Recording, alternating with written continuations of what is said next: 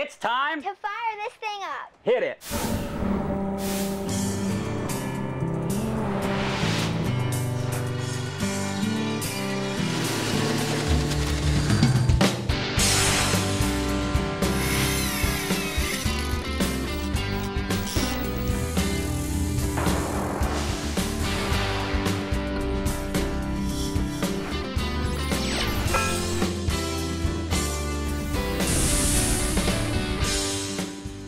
Jonathan, now try the other side. All right, what are you having him do there, Tim? I'm having him check for air in the system. If there's air in the system, the motor will move back and forth. If there isn't, if it's just oil, it'll, that motor will be rock solid. Okay, well, good deal, you made it. Hi, I'm John Greviskis. This is Tim Howard from Boat Steering Solutions. And you did the hydraulic steering system for the Taco Marine project boat over at your shop. Yes, we did. And, and it's got twin Yamahas on that. And, and when we pushed on those motors, because it was done properly, no air in the system, they were rock solid, they did not move. Jonathan's moving this engine back and forth. You're telling us that's an indication, a visual sign saying, hey, you got air in your hydraulic steering. It's going to affect the performance of the boat. We now, when, when we push the engines on the Taco Marine project boat, they're moving now too because we had a last minute donation where a company donated a lot of great electronics, including autopilot, and they cracked the hydraulic steering system that you and I did mm-hmm. on the boat, and we've got air in that system. Mm-hmm. Now, now kind of guys, just to recap, last time on the program, Bert actually used our professional piece of equipment, which is right here. This is a SeaStar Power Purge Junior. And he went to use it on the taco boat to bleed it. The motor was working, but it wasn't pumping anything. We brought it over to your shop and you rebuild these for marine mechanics for like $280. You put in some new screens with the motor.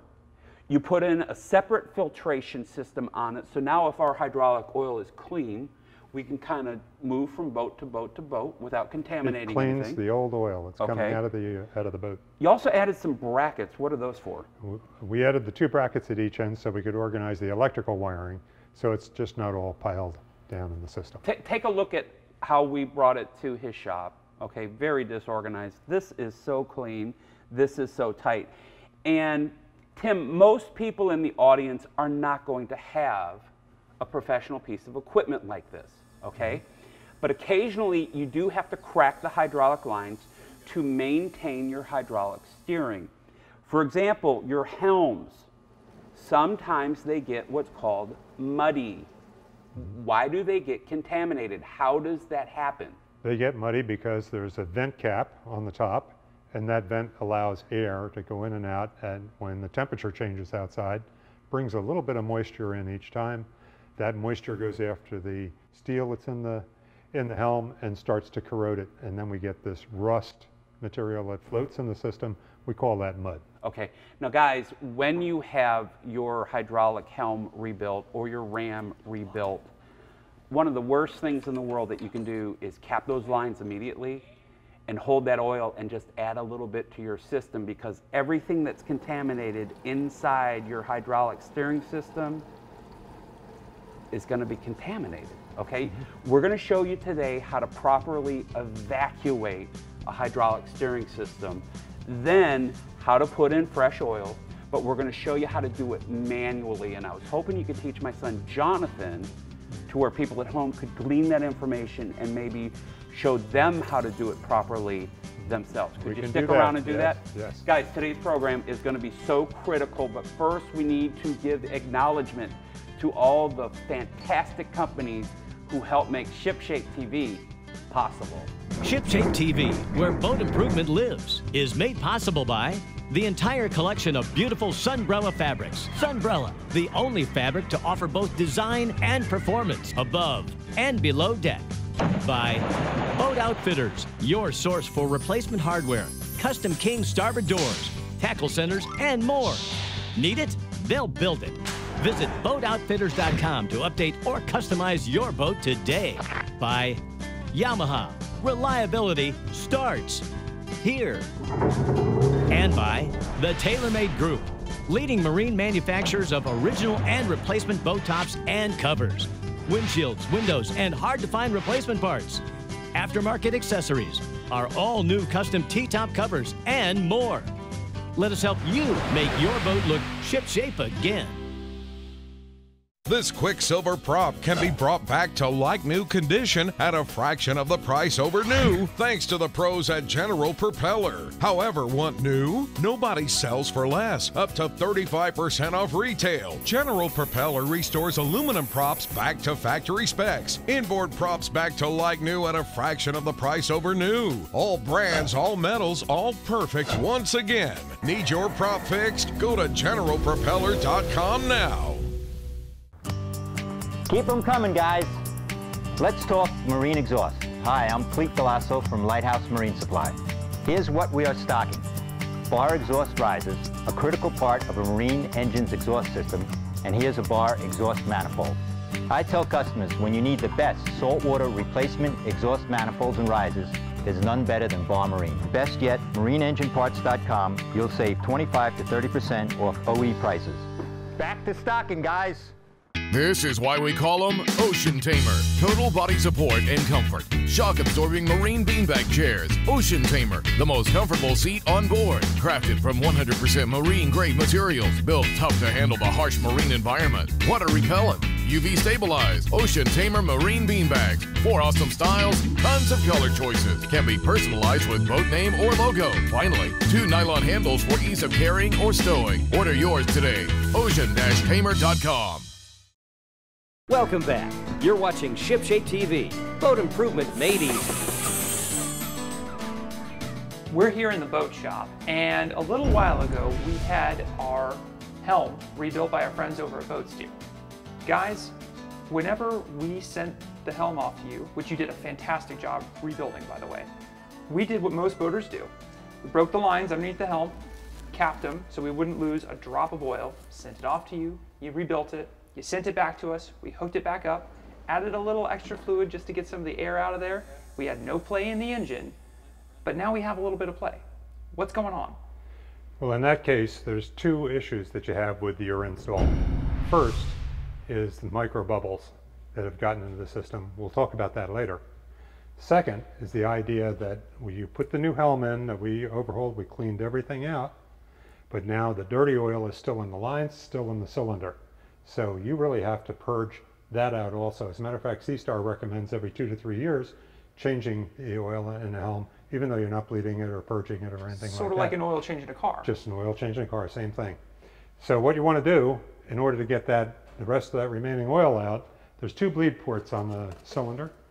Uh, you get yourself two short pieces of hoses, uh, plastic hose, put it on the bleed port, get a little catch basin, open the bleed fittings on each side, then you can start to turn the wheel port, keep running the port until you pumped everything out, turn the wheel to starboard, keep going while you pump everything out. Now you've got most of the oil out of the system. Okay. But you're not finished yet. You have to get the remaining oil out of the cylinder, and there's some still sitting down the bottom. To do that, you leave your bleed ports open, your tank, you manually move the motor, port and starboard, back and forth. That will cause the cylinder to pump the rest of the oil out, the bad oil out, into the, into the buckets. So once we've gotten rid of all of that, our system is totally dry. We need to then refill it with fresh, brand new oil. And Daryl, there's a kit that SeaStar makes. This is part of it. It's an adapter, I guess. Mm -hmm. How do we use this and how do we fill that oil back up? Okay, this end of the adapter, that will go into the fill on your helm. This end screws onto your quart of uh, SeaStar oil. It comes with a little punch pin that you'll punch a hole in the bottom of the uh, quart bottle, and now you've got this upside down like an IV. At that point in time, you will be turning your wheel uh, in one direction until you get clean, air-free oil coming out of the bleeder on that side. So the bleeders, while we're doing this, they're still open. Still open. The bleeders are open. We're turning the wheel one direction until we get clean, and by clean we mean no air bubbles, solid Oil. oil coming out of that bleeder. At that time, turn the wheel in the opposite direction until you get clean oil coming out of the bleeder again. Then close the bleeders. At that point, what do we do? Then we're going to go into purging the system. Going to turn the steering wheel to the starboard. Okay. Well, then we'll open the starboard bleeder. Okay. Then turn the wheel slowly to the port until we get clean oil coming back out of the starboard bleeder. Again, clean oil meaning no air bubbles, solid, fresh, because this is all fresh, brand new oil that's in the system. So solid oil coming out of the bleeder is what we want. Correct. Then what do we do? Close that bleeder, and then we're going to turn the wheel to the port. And then once the engine's to the port, open up the port bleeder and turn the wheel back to the starboard Okay. until we get clean oil again coming out. Again, no air bubbles, clean oil that way. At that point, are we done? At that point, you're going to want to wait till the next day Okay. because you are going to have some micro bubbles in the oil. That was what Tim was telling me was our problem. So what are microbubbles? They're, they're little fine bubbles that uh, as you're bleeding this system, um, you're going to have a little oil foaming. So it, it's just little fine bubbles that get in the oil and they're going to come back out and, and form big bubbles again. Okay. And that's so we didn't go back the day after we refilled our system to get those bubbles out. That's Right. why we have the play there. Once we've done that a day or two after, let it sit, then it's going to be rock solid. It's going to be perfect. Rock solid. Excellent. That sounds great, you guys. You guys are a fantastic resource on anything to do with hydraulic steering, hydraulic ramp, the whole the whole system. You guys know it top to bottom. Don't pull the plug. The boats, the tools, and ShipShape TV will be back in a snap. Master your most challenging offshore experience with confidence and ease with Yamaha Helmmaster. Precise, intuitive control on the open seas. Unrivaled ease for maneuvering and docking in port. And now SetPoint adds three new dimensions to boat control. Maintain boat position with fish point, or a position and heading with stay point, or a heading while you drift with drift point. Yamaha Helmmaster. Now with SetPoint. Complete digital control for today's larger offshore boats. We're Siren Marine. We design and build technology that gives you the power to know whether your boat is safe, secure, and ready to enjoy. The Siren Marine MTC is a practical solution that lets you connect to your boat from anywhere and monitor all your critical systems such as battery, bilge, temperature, shore power, and so much more. Never again be in the dark about your boat status. With the MTC, you'll have peace of mind and a better boating experience. Protect bare metal from the damaging effects of salt, grime, and water with the long lasting power of the hide. Shark Hide Metal Protectant. Shark Hide for decades has been the only way to keep plain or anodized aluminum looking like new indefinitely. It's the only product that goes on in seconds and dries to the touch fast, yet lasts years and years. Preserve that diamond plate. Coat stainless steel hardware. Hide all signs of aging from all bare metals with the Hide. Shark Hide. So what are you waiting for? Order now. Welcome back aboard. Fishing for boat improvement? Well, you caught it right here at ShipShape TV. We are back in the boat shop. Hi, I'm Jonathan Greviskis, and it's time to do some more maintenance on another Yamaha engine. This is John Talley with Boats.net. Good morning. John, thanks for being on. Not a problem at all. This is a 2015 Yamaha 225. Mm-hmm. We have never replaced the impeller on that. Is No. that bad? Yes, you have to replace the impellers every year or 100 hours, and you're a little bit overdue. So what happens, even if you use the boat every day or only once a year, the rubber starts to get hard, gets brittle, then it can break up, overheat your en- engine, and then you're stranded. You could say it's kind of like changing tires, and we've been running bald for a little bit. Yes, you have. Okay, so I know a lot about boats, boating. I grew up doing this kind of stuff, but my uncle is really the mechanically inclined one. I live out in Seattle now. He's always done this stuff for me. I don't know if I'm comfortable enough doing this by myself. I'd probably take it to a dealer. What am I going to pay a dealer to do this change for me? If you take it into a shop just for this simple of a surface, you're looking at around $350. Oh my gosh. I mean, you save yourself a lot of money if you come to us. We're a one-stop shop. We've got all the parts, we've got the diagrams, and if you need help, we've got a call center that help walk you through it. And once you order the parts, you know, they'll be there in a couple of days because nobody stocks more parts than we do. We're the largest buyer of OEM factory parts in the world. And we've got an excellent fill rate. So when you call us, we're going to have your part. Well, let me get my brother here to help us uh, with this. Could you walk me through the process of what we need to do? Okay, it's really simple. What we're going to do is need to uh, just drop the lower unit. And basically it's held in place by seven 14 millimeter bolts. The six around the front, you'll see three on either side. Really easy to get to. The hidden one is up under the skeg at the very back. Once you get number seven out, have your friend help lower it down and lift it out and put it on a bench, a table like this with some type of stand to hold it upright.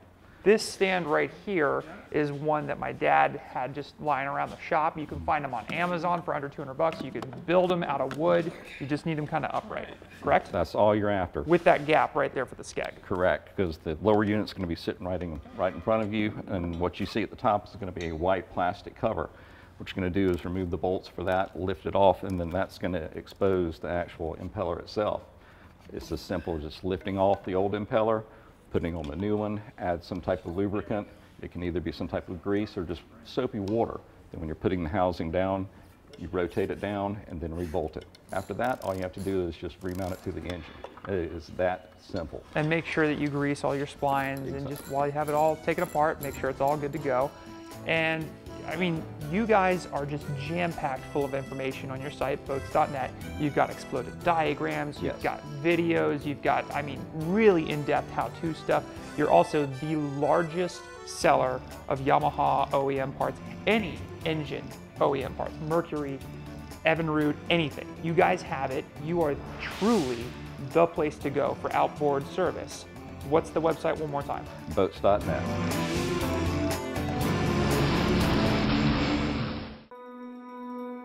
There's no other place you'd rather be than on the water, living your passion. Whether it's a serene day at the lake, cruising the coastline, or using the wind to power you along your course, only Sunbrella fabrics combine style and comfort above and below deck with the absolute best performance and warranty on land and sea.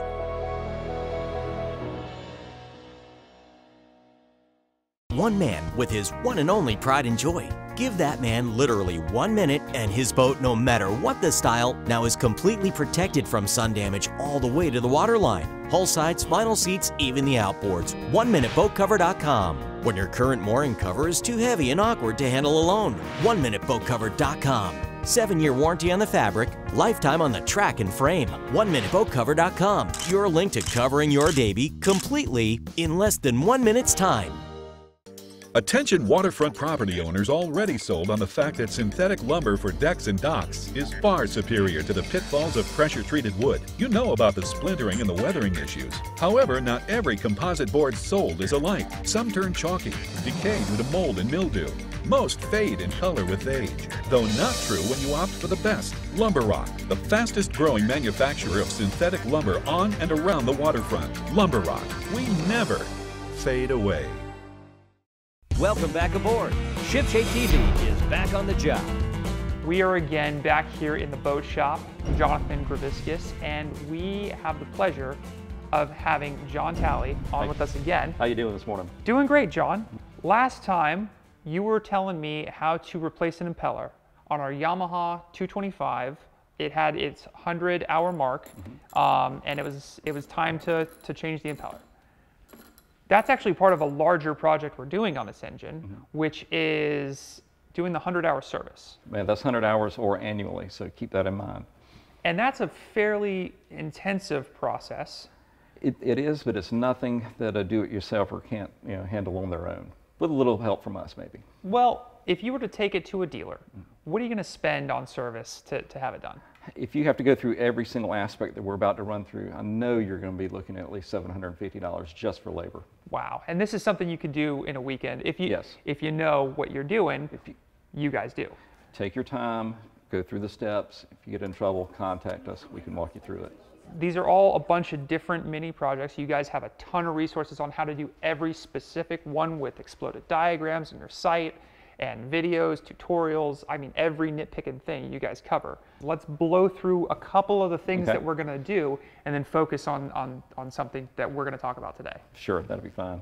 Well, if you want to start off by doing your lower gear case oil, go ahead and freshen it up with a new set of spark plugs. Take a look at your fuel filter, make sure it's not stopped up. Yamaha actually makes kits for each individual engine that have the correct amount of oil and then also the correct uh, oil filter associated with it. We've already talked about the, uh, the, the impeller. At length, yes. Yeah, that, that needs to be done. Beyond that, you need to inspect all your anodes. Okay, so let's focus on anodes because we actually haven't talked a lot about that on the show. Uh, I see them on every piece of running gear that's out there, but why? What's the what's the point? Okay. The reason being is there's elec inherent electricity inside of salt water or any body of water for that matter. Salt water happens to be the highest, so it is the most intrusive as far as this goes. And the anode system is designed to be eaten away instead of your actual boat motor. If you've got them with in any place on the motor that's in contact with the water that it's sitting in. So that can be on the lower unit, that can be at the gimbal housing, and that, can also mean actually on the engine itself, where uh, you've got the water jackets, where the uh, salt water or whatever water it is that's getting pumped through the engine for cooling. Got anodes there as well. So it's kind of it's, it's junk metal to keep your nice metal safe. Exactly. In different kinds of water, fresh, salt, brackish, are there different kinds of anodes? There are. There's actually three different types that the industry uses. Um, you've got the zinc, then you've got aluminum, and you've got magnesium. Magnesium, that's the one you want to use in fresh water.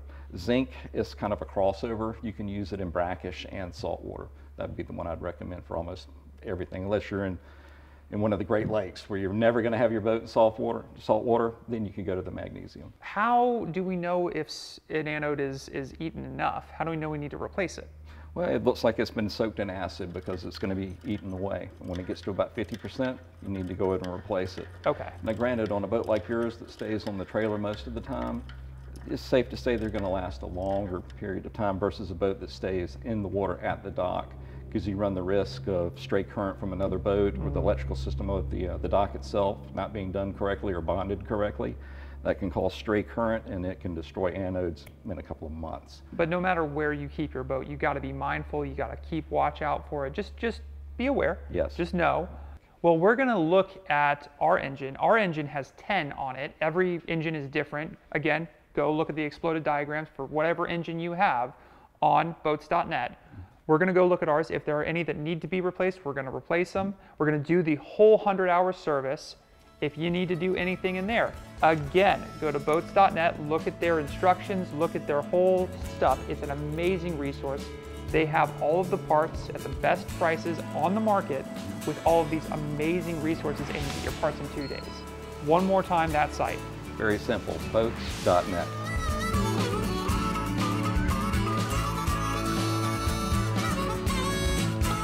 That's right, in my world, it takes an entire village to raise a boat.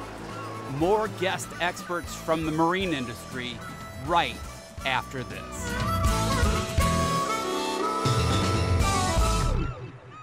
This Quicksilver prop can be brought back to like new condition at a fraction of the price over new, thanks to the pros at General Propeller. However, want new? Nobody sells for less, up to 35% off retail. General Propeller restores aluminum props back to factory specs, inboard props back to like new at a fraction of the price over new. All brands, all metals, all perfect once again. Need your prop fixed? Go to generalpropeller.com now. Now, in our 45th year, KenCraft introduces the all new 2020 KenCraft Bay Rider Bay boats and skiffs, powered exclusively by Yamaha. Specifically designed to fish hard, specifically designed to cruise well with your family. Can there really be one boat that does both exceedingly well? Yes, there can, with a KenCraft. KenCraft, top tier fit and finish. KenCraft, only the best, most expensive marine hardware integrated. Can it be yours? Of course it can. Affordably. KenCraftBoats.com. One man with his one and only pride and joy. Give that man literally one minute, and his boat, no matter what the style, now is completely protected from sun damage all the way to the waterline. Hull sides, vinyl seats, even the outboards. OneMinuteBoatCover.com. When your current mooring cover is too heavy and awkward to handle alone. OneMinuteBoatCover.com. Seven year warranty on the fabric, lifetime on the track and frame. OneMinuteBoatCover.com, your link to covering your baby completely in less than one minute's time. Welcome back. You're tuned into ShipShape TV, America's favorite boat improvement show.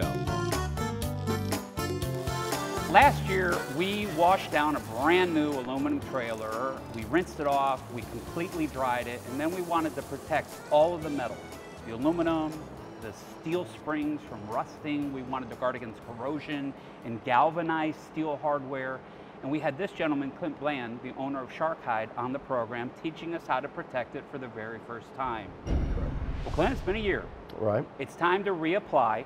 And our goal is to keep this aluminum trailer looking brand new forever, okay? And this is how it left our shop a year ago. Here's how it looks a year later. Right. Okay?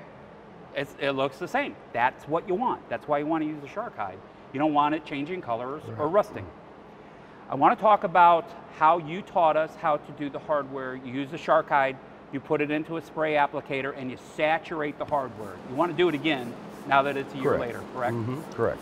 You also taught us how to use the shark hide and put it on a special bird's eye weave cotton that you sell. You get 10 of these guys, which will last you 10 years on the trailer, okay? And I think it's like 20 bucks. Correct. It's, Mhm. it's nominal. But it's so critical, this bird's eye weave cotton, because what this does is it doesn't absorb moisture. It literally, it, it takes it away from a baby's skin and wicks it away Yeah, and puts weave- it on that surface. That particular weave moves moisture from wet towards dry faster than any other weave known. So and, that's and everything else kind of takes it the opposite direction. Right, and it we're trying to the- the apply product. material. Okay, Correct. so this is the only applicator that you use. You, you were talking about uh, coating it. You can go about 10 feet on a smooth surface. You move over and you come back, and you want Right. to cover all of your smooth surfaces. You were talking about the diamond plates, a different type of pattern that you're swiping the shark hide on because you got all those bumps on the diamonds, you know? So you kind of want to go four foot only. So we kind of go up, we immediately come back, then we come over, we go up, and we come back, and we do, like in our case, a half a fender at a time. Right. I want to help guys that are trailering a lot, especially down here in Florida. We get a lot of uh, sand on the road or whatever. Mhm. How can we help protect the leading edges of our fender wells and stuff like that from highway damage? How often do we want to reapply What I would hide? suggest you do is instead of, let's say, a fresh coat annually on the whole trailer, I would suggest maybe, especially if you do a lot of highway miles, I would say once every six to eight months maybe go out and reapply just on the leading edges of your trailer, leading edges of the fenders and Pick, things like that. pick up that box. This is what Clint shipped to me on that box right there. If you could just Right. pick that up and show that. You can get your shark hide, you can get your special applicators, everything else. And where do people get that? If they want to protect anything on the boat or around the house or in the garage that has metal that they don't want it to rust or corrode or oxidize. Yeah, you can order it at sharkhide.com and we'll get it out the same day. Closed captioning provided by the over two decade video library at the all new ShipShape TV website. Available now worldwide online with paid subscription. Makes a great gift with a special boater search engine for ease of use. Hurry, the introductory price ends soon, so watch any episode, old or new, on any device at the all new ShipShapeTV.com.